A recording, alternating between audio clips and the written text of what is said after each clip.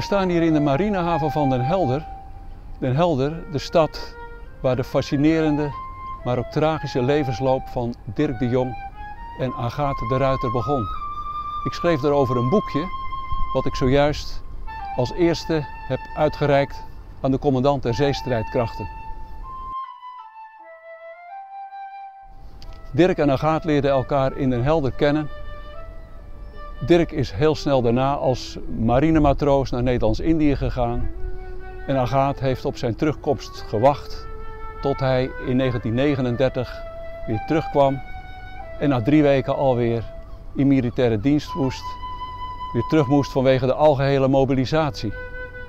Hij is daarna op de kruiser Sumatra aangemonsterd, naar Engeland vertrokken, vervolgens naar Canada en weer naar Nederlands-Indië en nooit meer teruggekomen.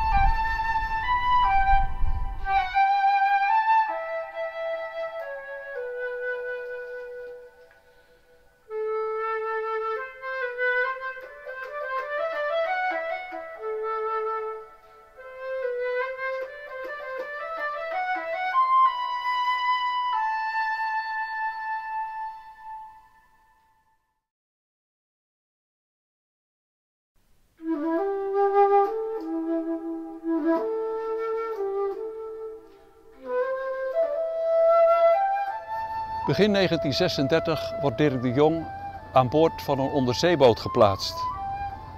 In Surabaya. Hij beleeft daar drie mooie jaren. Wel ver weg van Agaat, maar met een wekelijkse brief houden ze contact met elkaar. Die onderzeeboot die bevat torpedo's en Dirk is een torpedospecialist. Hij voelt zich als een vis in het water. Geen wonder dat hij op 1 november 1936 wordt bevorderd tot matroos der eerste klasse.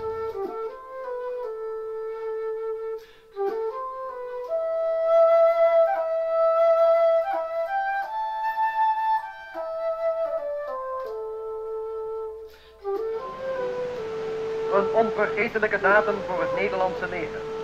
28 augustus 1939. Algemene mobilisatie.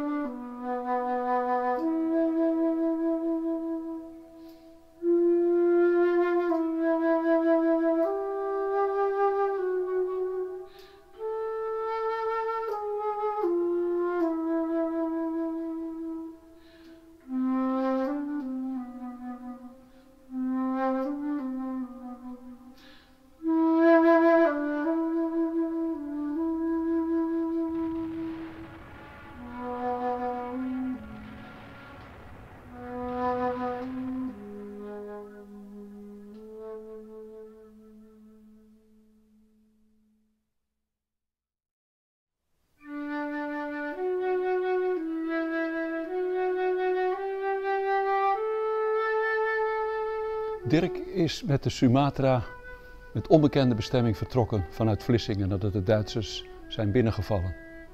Op enig moment, als ze in de haven van Bristol liggen, is de bemanning van de Sumatra zich aan het ontspannen. Tijdens de middagrust kan men slapen op een vrij stukje dek. Matroos der eerste klasse van Toren speelt op zijn accordeon. Er wordt een biertje gedronken en gezongen. Dan ziet matroos der derde klas, Adriaan Kannegieter, een collega van Dirk, Dirk de Jong, dat er langzaam een Engelse barkas aankomt varen. Iemand roept: Er komen wijven aan boord. De valreep, dat is een loopplank met leuningen, hangt al naar buiten. Zodra de barkas langs de valreep ligt, stapt tot ieders verrassing prinses Juliana uit en loopt naar boven. Ze wordt gevolgd door prins Bernhard met prinses Beatrix op zijn arm. Het wordt stil. Van Toren begint het Wilhelmus te spelen. Alle bemanningsleden springen in de houding. Dan komt de verpleegster, Freule Feit met prinses Irene, naar boven.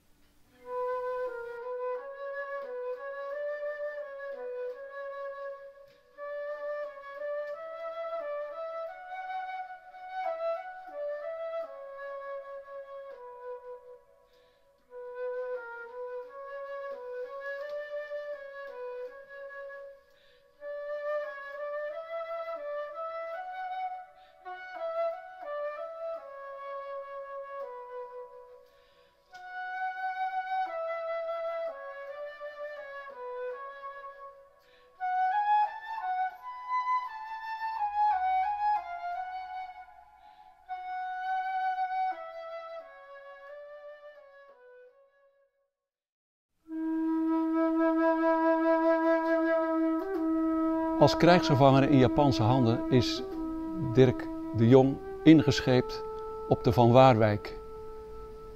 En met de Van Waarwijk, omgedoomd in een Japanse naam overigens, is hij op weg naar Pakambaru. Onderweg wordt een tijd gewacht tot er weinig gevaar meer dreigt van geallieerden. En dan gaat men weer varen. En dan opeens treft een torpedo het achterschip.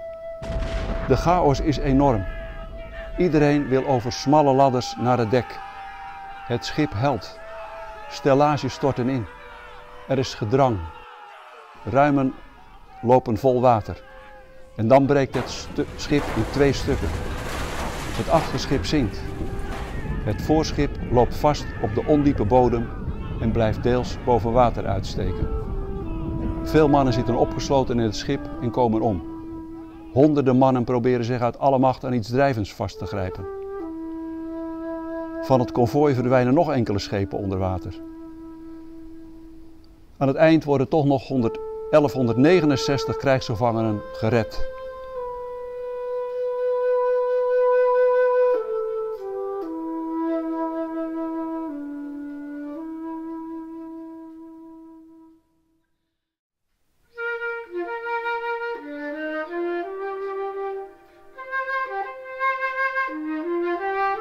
Dirk de Jong is te werk gesteld bij de aanleg van de Pakambaru-spoorlijn.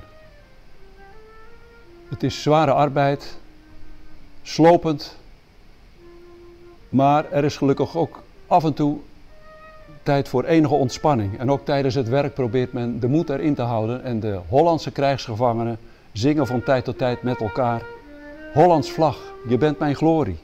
Hollands vlag, je bent mijn lust. Groep van louter vreugd, victorie als ik je zie aan vreemde kust. Een van de overlevenden, Jan Eggink, herinnert zich later nog levendig kerstmis 1944. Die mochten we vieren van de Jap, waaronder de strikte voorwaarde dat er niet gezongen zou worden. Samen met ongeveer 600 zieken vieren de werkers de geboorte van Jezus. Collega baanwerker Bratu komt met zijn viool en speelt een potpourri van traditionele kerstliederen. Stille nacht. Dat zal ik van mijn leven niet vergeten, zegt Jan Eggink. Dan zag ik die hologige skeletten op de Bale Bale, een van bamboe gemaakte rustbank.